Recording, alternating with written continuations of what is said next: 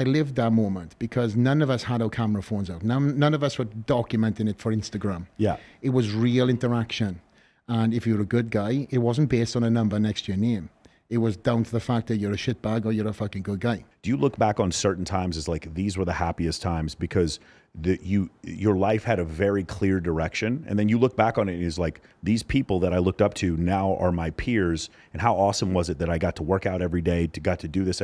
Like I, I think about certain times, you know, or my early days moving here to Las Vegas, like some of the guys that are now executives at these hotels were dudes that I used to just hang out with, or they were door door guys at nightclubs, Yeah. and now these guys are huge. Is it feel like that for you? That do you, what what point in your career do you look back and be like, man, that was that's when it was most fun? Good question. I've never been asked that actually. Off off the off the hip here, that's probably one of them. Only because I was that kid who had bodybuilding in my hand every single day. Yeah. Literally the magazines were my Bible. I woke up, I read, I, I had VHS tapes going all day Sure. long. So when I had the ability to jump on that plane and then go to Gold's Gym and to see to see these guys come into fruition and now full circle to like I said to call my friends it's uh it's definitely been uh, a full circle moment but there was many times that I've I would say I wouldn't say my my happiest but there was there was certain times where I was like wow and they were when I had nothing You had fewer distractions.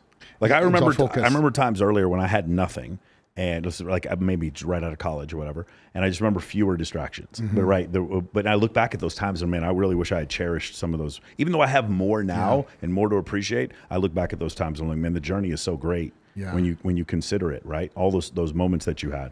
I remember like walking into Fullerton, the, Yeah. the gym that Milos Sarcev had. who Milos is now training in my gym. It's called Okay. Full Circle. So he had a gym that was an old powerhouse that he renamed Coliseum Gym, and that's where the flex photo shoots would take place. And every single day, you didn't really know who was going to to, be walking through them doors. And through um, Milos being the, the, the crazy fucker he is, he would literally be like, "Okay, so and so's coming in today. You're training legs them." And I was like, uh, I trained legs yesterday. So and so is coming in today, and you're training legs. In. Yeah. Okay, and that's how I earned the respect. Also, with the nickname Flex. When these guys met me, it was like, "There's one already a Flex body," but it, and I was like, "Well, this is my name. This is this is who I am." Yeah. And I had to earn my stripes and and and make that known as like that other person, the legend, Flex Wheeler. That's him. But this is this is who I am, and this is my name since Yeah. school. So uh, training with these guys, I literally earned my stripes through sweat equity. And uh, as time has gone, these guys then became uh, followers of mine. And then I've, stood, I've actually stood on stage and beaten some of these guys who I actually trained with way back in the day. But that moment of me being in the gym, and then I literally lived in the gym, to be truthful honest to you. Um, I I would turn up every single day, not knowing who was going to turn up, and I would watch these guys, um, how, what they'd done for the photo shoots, how they'd done the photo shoots, and it was like a playbook. Yeah. No- nobody ever taught me anything. The, you're talking about the posing. I'm, t- I'm talking about the photo shoots, how it was set up, yeah, all the intricate things that go on behind the scenes, how these guys prepare for for that photo, that one photo that lasts a lifetime, what goes on just to take that picture. And back then there was a photographer called Chris Lund. okay, And Chris Lund, he would. I remember when I shot with him, I, I realized soon enough why he was known as the crazy fucker he was. He would ask you, "How much can you pick up in the off season?" And of course, you want to give him something impressive, Sure. right? Uh, you know, one one fifties. He's like, "Okay, I need you to pick up the one fifties, and I need you to give me two reps." I'm like, "I'm I'm dehydrated and dry." yeah, there's no way I'm doing two or three reps. There's no way.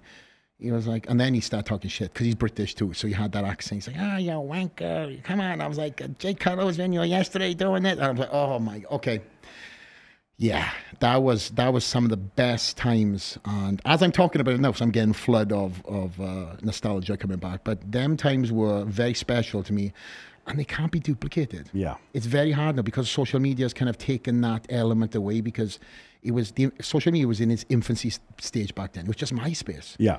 and nobody was coming to the to the gym with a phone or coming to the gym with a camera. If anything, the only time you got recorded was um, the Mitsuru stuff that Jay Cutler put out all the DVDs and Yeah. stuff. So that would be the only time anybody would be recorded. So all that all that era was missed, and that was some incredible stuff that went on behind the scenes. But I can also flip the coin and go, I lived that moment because none of us had our camera phones out. None, none of us were documenting it for Instagram. Yeah. It was real interaction. And if you're a good guy, it wasn't based on a number next to your name. It was down to the fact that you're a shitbag or you're a fucking good guy. Yeah. And that's and that's how I had to earn my stripes through that era. So I've had one foot in the magazine era and one foot in social media, and I lived that life. I was actually the last athlete. Myself and Phil Heath were the last Flex magazine athletes uh, before all contracts got taken away. Wow. Wow.